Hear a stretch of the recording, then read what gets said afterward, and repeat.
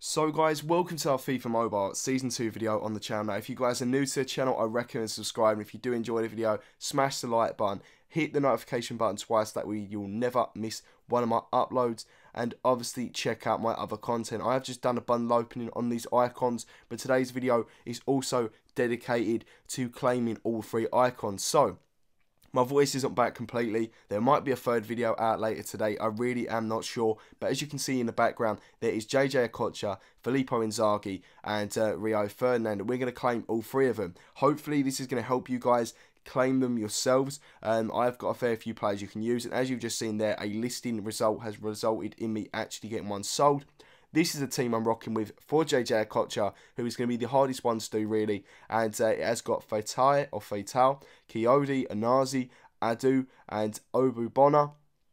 Keep in mind, guys, I had a 99 rated team. This is without any sort of upgrades to the team. I haven't done any upgrades. It's all based on skill boost. As you can see, I've got a lot of reserves stacked up for the other icons, but this is pretty simple one. If I go over in a second to the market, I can show you guys what the situation is with the Nigerian players because a lot of them are extinct on the market.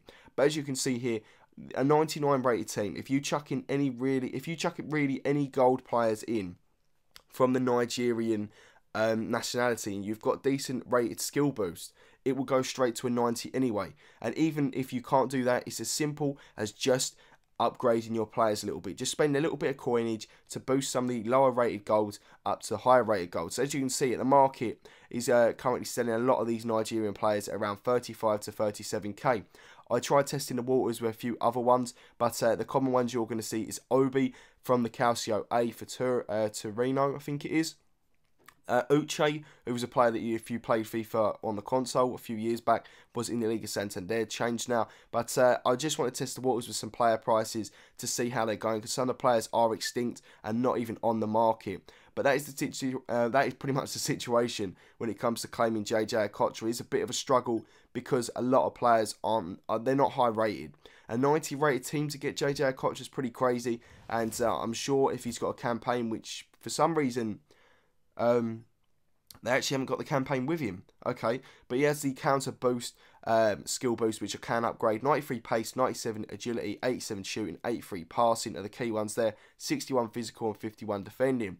Not too bad at all for an 86 right midfielder, and uh, he would be a 91 rated player in my team. 95 sprint speed, 100 ball control, and uh, I think that was 100 dribbling as well. That's blooming crazy for a player like him. And it, oh, okay, there is a campaign for JJ Okocha, um, and there's the whole city as well. But uh, I wonder what the situation is with it. So that's not bad. That's not bad. Okay, 92 rated team, 94 rated team, 95 rated team with Nigerian nationality. So if you want to do JJ Okocha for some reason, you're going to have to spend a lot of money boosting up your Nigerian players, and I just don't think that's worth doing. So as you see, that is the team I've got now. That's my 99 rated team that I was talking about. And uh, I think as we move on, it's going to be quite easy to claim that Rio Ferdinand or the Filippo Inzaghi. So we're going to start with Clark Salter, who's uh, if you've selected the English campaign, probably selected Chelsea, would have been one of the easiest ones. Gary Cahill, 81 rated elite that converts up to 89 shouldn't be too much, right? Maybe around 500, 600k. And as you can see, we've got Jack Butland peak in there. Um, there's not many other English players. I think we had the left wing back Ashley Young that you could use. So as we're going to see, we're going to chuck in Jack Butland. Goes up to 87 rated there. And I don't think we're going to knock off many of the ratings. We already had Dele Alli from League versus League. And we already had Michael Owen from the previous claimings of the Icons. So that's all five and that means Rio Ferdinand is coming to the club. And I can't wait for this. He's going to be one of the best centre backs on this game. I'm telling you right now. As you can see there, it hasn't shown the campaign or unlock or anything like that, but let's have a look. He's got the tackling boost as his skill boost, and I've got 8, level 8 for that, and he's 89 rated. So that means he'd be a 97 rated player in my team. 86 pace already, 76 passing, 71 agility, 96 defending, and 93 physical. He blows Puyol out of the water. If any of you guys have claimed Puyol, he's blown him out of the water. I have a struggle with Puyol because I feel he's way too slow for a centre back. Players can roast him way, way too easily. So, Rio Ferdinand coming to my club would fill me with great pleasure because it needs to be done, man.